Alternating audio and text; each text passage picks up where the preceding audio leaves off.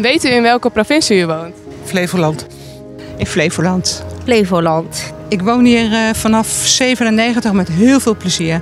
Ruimte, rust, uh, water, bossen. En ik ben ook nog niet van plan om uh, uit Flevoland of Almere te vertrekken. Dus, Het is ruim, schoon, mooie natuur. De omliggende steden vind ik eigenlijk ook wel prettig. Niet te druk en erg gezellig. Weet u eigenlijk wat de provincie voor u doet? Nee, dat weet ik niet precies.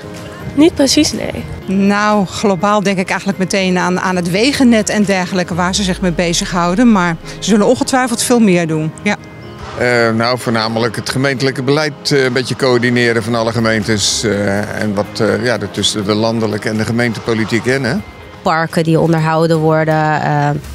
de buurten die netjes worden gehouden. Het zijn eigenlijk simpele dingen, maar die je als bewoner wel belangrijk vindt. Ja, op het moment dat ik inspraak zou kunnen hebben, ja, dan zou ik inderdaad wel meer willen weten. Qua stad volg ik het wel.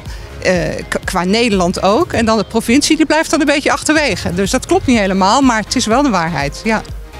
Best gek dat veel mensen zo weinig weten over de provincie.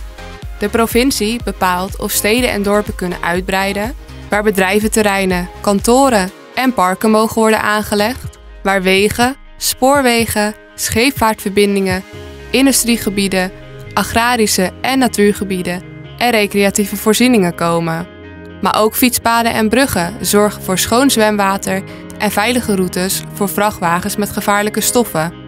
De provincie houdt toezicht op de naleving van milieuwetten voor lucht, bodem en water. Kortom, best belangrijk. Gaat u ook stemmen met de provinciale verkiezingen in 2023? Ja, ik ga wel kiezen. Dan kan je later tenminste een beetje zeuren als het niet goed gaat. Omdat iedereen natuurlijk uh, zijn eigen visie heeft op wat belangrijk is in het land of in een provincie. Ik stem altijd. Zou je zelf ook stemmen voor de provinciale verkiezingen in 2023? Uh, nou, zelf kan ik dat nog niet. Maar uh, daarna zeker wel.